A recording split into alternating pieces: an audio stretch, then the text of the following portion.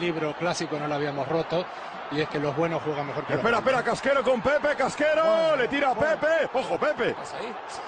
Uy, lo ha rematado en el suelo, Kiko. No, pero es que le ha dado por dos veces Se va a la calle, claro. Si es que como que a la calle. Y, si espérate a ver lo que le cae, ¿no? Le puede meter, lo puede meter hasta la cárcel. Si pone la denuncia espera, que- por que agresión sigue. a la calle. ¿Pero dónde va Pepe? No, perdió el control totalmente, perdió el control totalmente.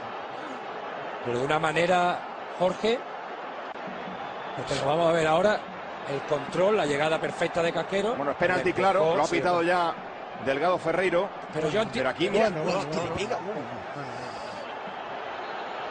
Se ha vuelto loco, se le ha cruzado el cable, ¿eh? No, no. Es que fíjate que, que si mueve un poco más la cabeza le puede golpear porque él no mira ni para que le podría haber golpeado hasta en la cabeza. ¿eh?